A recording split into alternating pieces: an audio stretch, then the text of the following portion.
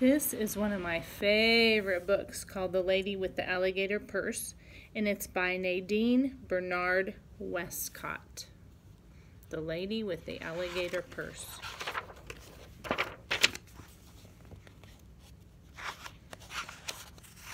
It's really fun because it can be a song. I'll sing it for you. Miss Lucy had a baby, his name was Tiny Tim.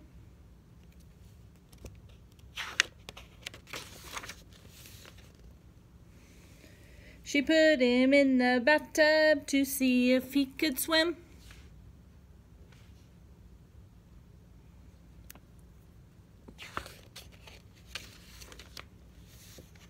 He drank up all the water, he ate up all the soap.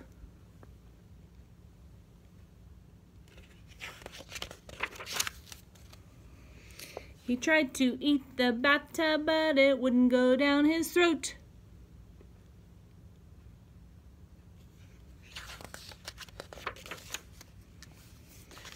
Miss Lucy called the doctor, Miss Lucy called the nurse, Miss Lucy called the lady with the alligator purse.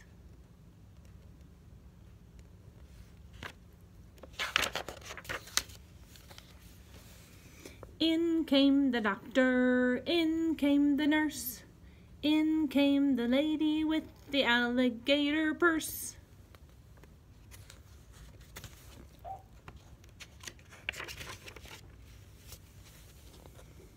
Mumps, said the doctor, measles, said the nurse, nonsense, said the lady with the alligator purse.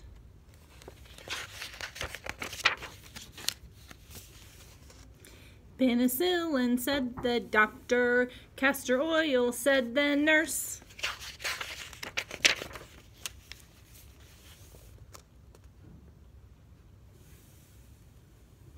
Pizza, said the lady with the alligator purse.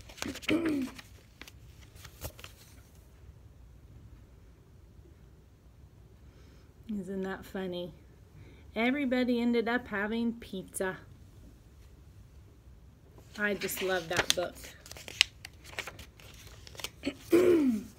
out went the doctor, out went the nurse.